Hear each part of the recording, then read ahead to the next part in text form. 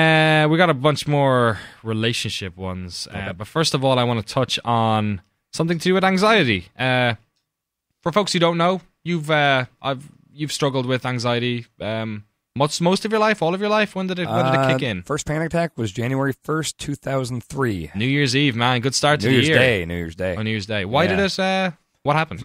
I was uh, seeing Gangs of New York in the Terrible theater. movie. I don't blame you. I like that movie. Nah, I'm like, I think it's pretty good. Anything with Daniel Day Lewis is good. yeah.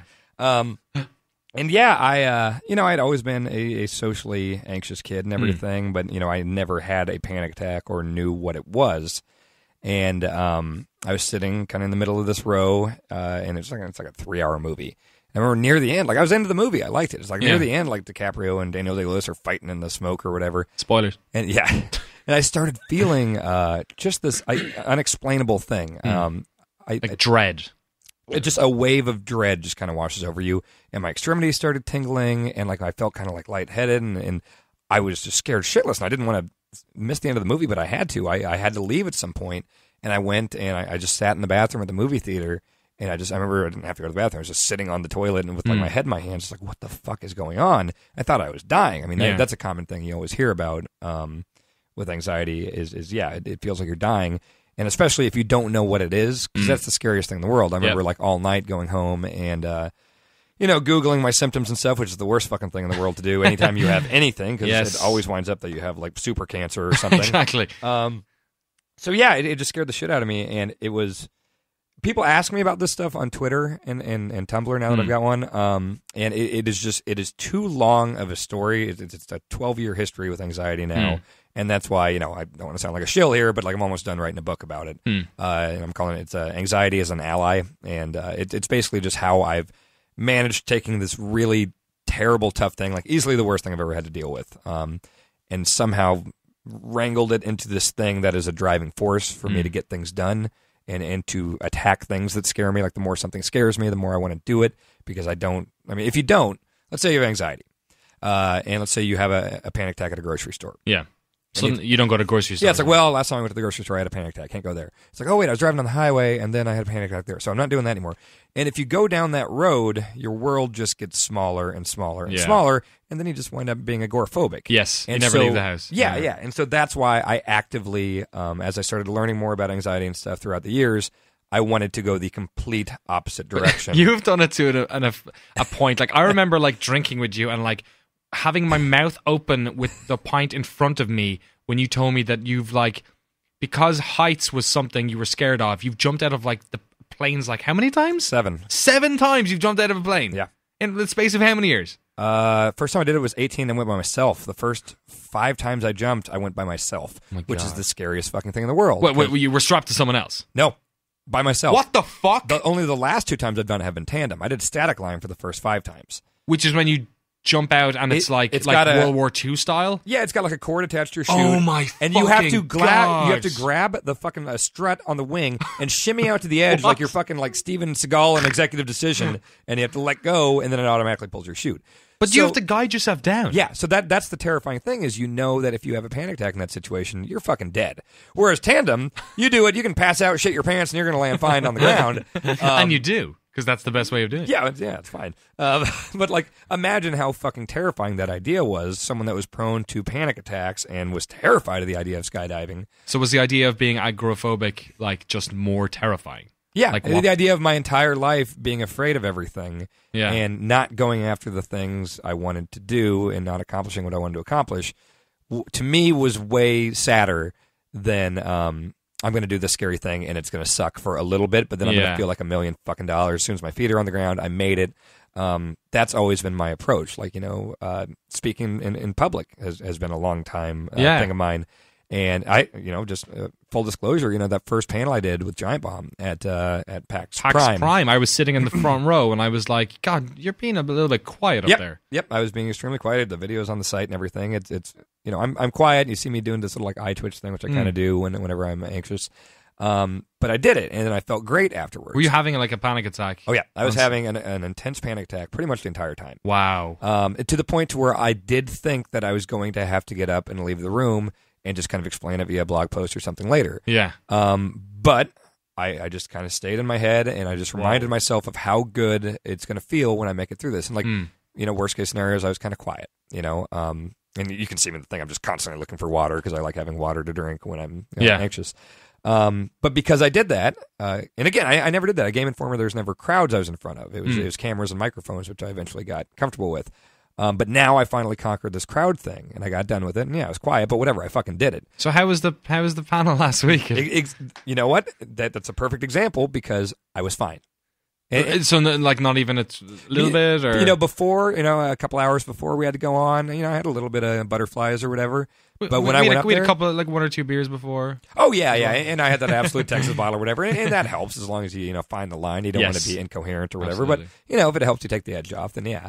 Um, but no, I didn't have really any anxiety up there, and and if you watch that one on the site, it's uh, I think I seem much more comfortable Yeah. with that, and I got done with that, and it seemed like no problem, and now I've got a, a PAX East one coming up in a month, and I'm not dreading it anymore. To where if it was this boogeyman that I uh, that I stayed away from for so long, it, that its power uh, as like an agent of fear would just grow and grow. Mm.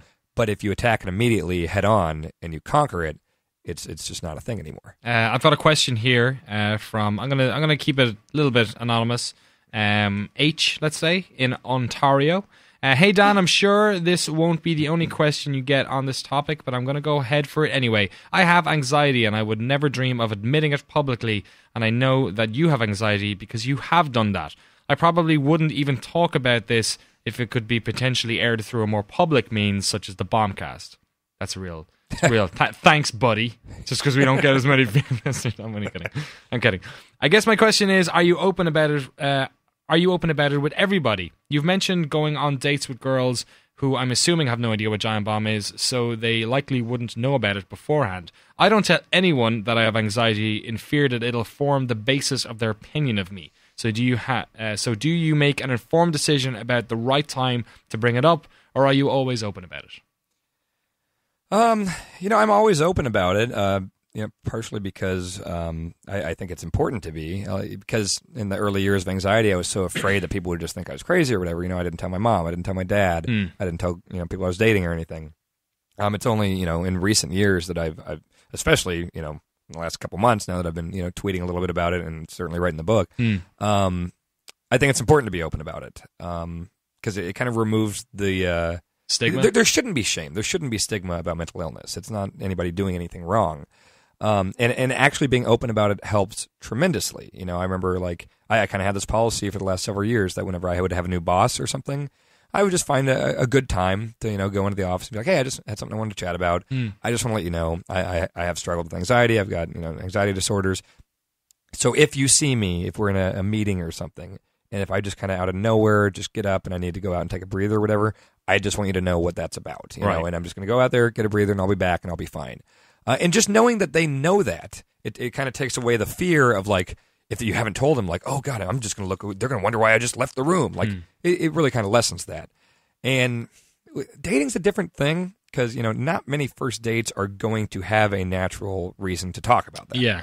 Uh, you know, it's not like first date, like, all right, where are you from, and do you have any psychological conditions? you know, that that doesn't really happen. Yeah. Um, but if there's a natural, the conversation steering that way, if, if you start talking, you know, like I've dated girls that are social workers or deal with people with, Mm. you know, mental illnesses or whatever. And, you know, I, that's a good point to, to bring it up. It's like, oh yeah, actually, you know, I've really, you know, I'm, I'm very interested in that. You know, I've had anxiety for years. Mm. I mean, you don't let it define you. I mean, it's, it doesn't have to be like this huge conversation or whatever, but I mean, just throwing it out there or whatever and just making it clear you're not ashamed of it or anything and that, you know, you, you're working on it. Um, if it, when there's a natural point to talk about it, do it. I mean, don't scare someone off by right away saying it, but yeah, yeah, work it in. I mean, if it's if it's something that affects your life in a big way, then yeah, yeah say it when you should. It sounds like this individual is probably in the place you were years ago. Oh yeah, As opposed to now, where you know you, you, you've you've largely conquered it. Obviously, Yeah, you never yeah. fully conquered these things. you know it's chronic. Yeah, Yeah, like Um, I, I could say the same about uh, my depression. Like I, Right. I have, oh, I don't know, like at least two, maybe three first dates. It's actually come up, um, Oh, yeah. Because the other person has had it as well, uh, or you know, you, again, same thing. You always kind of have it, but you know, you either you're on top of it or, or you're not.